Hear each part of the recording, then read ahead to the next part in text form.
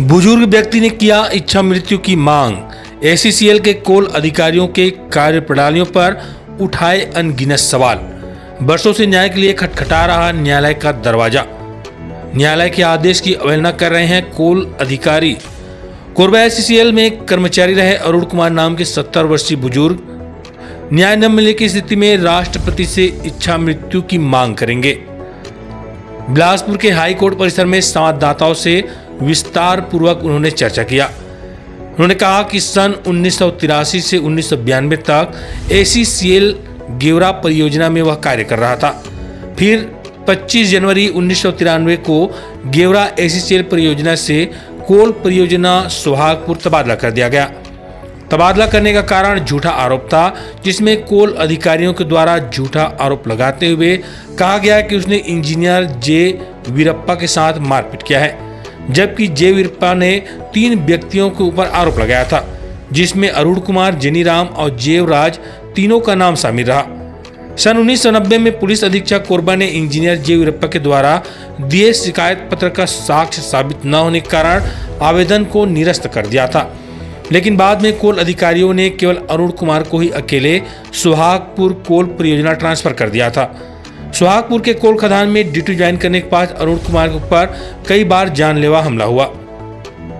हुए हमले से डरे समय अरुण कुमार के द्वारा सुहागपुर से वापस आकर कोरबा जिला के गेवरा उप थाना क्षेत्र हरदी बाज़ार में सुहागपुर में हुए हमले की शिकायत दर्ज कराई और कोल अधिकारियों के समक्ष गेवरा प्रोजेक्ट वापसी के लिए विनय याचना किया गया। परंतु कोल अधिकारियों ने अनदेखा कर दिया, जिससे कुपित और नाराज़ होकर अरुण कुमार के द्वारा दिल्ली राष्ट्रपति भवन के सामने आत्मदाह का कदम उठाया गया था। किंतु वहाँ तैनात सुरक्षा कर्मियों ने किसी तरह से उसकी जान बचा ली थी। बुज़ुर्ग व्यक्ति अरुण कुमार ने कहा कि कोल अधिकारियों ने षड्यंत्र पूर्वक मुझे नौकरी से बेदखल किया है। उन्होंने मीडिया से कहा कि कोल इंडिया के कोल अधिकारियों के द्वारा माफियाओं को संरक्षण दिया जा रहा है। कोल अधिकारियों को कोल माफिया के नाम के साथ संबोधित करते हुए बुज़ुर्ग कुमार ने बिलासपुर हाई कोर्ट की सुनवाई। 27 फरवरी 2023 को हाई कोर्ट परिसर में पत्रकारों के सामने चीख चीख कर कोल अधिकारियों के कार्य प्रणाली पर कई सवाल खड़े किए। उन्होंने कहा कि छत्तीसगढ़ हाई कोर्ट ने अलग अलग दिनांक को पूर्व मेरी नौकरी बहाल करने एवं क्षतिपूर्ति प्रदान करने आदेश जारी किया, परंतु लापरवाह कोल अधिकारी इसे भी अनदेखा कर रहे हैं और इस बात को सुन ही न रहे हैं। बुज़ुर्ग अरुण कुमार ने कहा कि कई बरस से वे अपने हक की लड़ाई लड़ रहे हैं। कोल माफियाओं के द्वारा किए हमले में एक आँख गंवा चुका हूँ। यह लड़ाई लड़ते मेरी उम्र गुजर गई, मेरा परिवार बिखर गया। अब अगर मरने के वक्त में न्याय नहीं मिला तो जीने का क्या फ़ायदा? उन्होंने ये कहते हुए आगामी दिनांक की सुनवाई में न्यायालय में यदि उन्हें पूरी तरीके से न्याय नहीं मिली तो इच्छा मृत्यु की मांग करेंगे। या फिर हाई कोर्ट के सामने ही आत्मदाह करके अपना जीवन लीला समाप्त करेंगे ऐसा उन्होंने कहा है। नाम बोलिए सर। अरुण कुमार। अच्छा क्या समस्या लेकर? समस्या ये है मैं गहरा प्रोजेक्ट में ड्यूटी करता था। हम्म, इन लोगों ने हमारे हत्या करके के साजिश में लोग ने झूठा आरोप में ट्रांसफ़र किया। और जब इसका लिखा पढ़ी चालू हो गया सुप्रीम कोर्ट से लगे सब जगह से जब लेटर आना चालू कर दिया तो इन लोगों ने गलत ढंग से मेरे को बर्खास्त दिखा रहा है। जबकि राष्ट्रपति के थ्रू से बोला जा रहा है, जो आपका चौबीस नौ तिरानवे को सोहागपुर से चिरीमिरी हुआ है। तो जब चौबीस नौ तिरानवे को सोहागपुर हो से चिरीमिरी हो गया तो पंद्रह तीन पंचानवे को सोहागपुर वाला कैसे मेरे को टर्मिनेट करता है?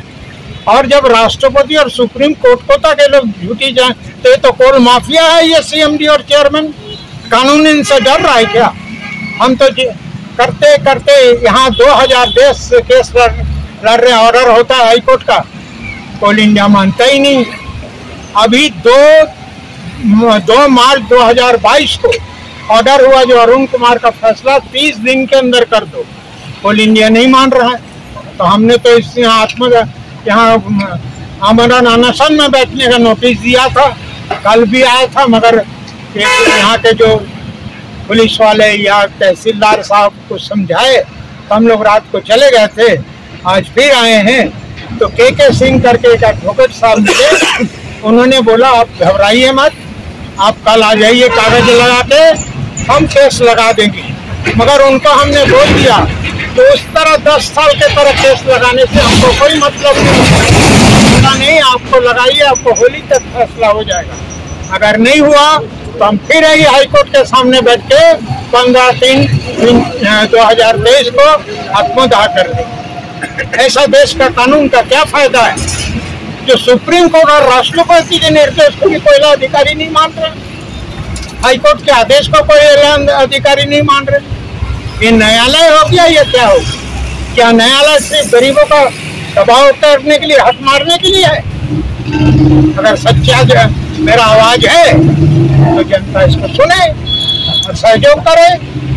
तो आप चाहते क्या हो सर जी? भाई हमको नहीं मिले हमारा हरियाणा के साथ। अच्छा आपको न्याय मिलना चाहिए। इस मुद्दे को लेकर से लेके अभी तक का तनख्वाह नहीं मिला है मेरे को। और जो हज़ार ये सब मेरे बच्चे तबाह हो गए इसका कौन जिम्मेदार होगा?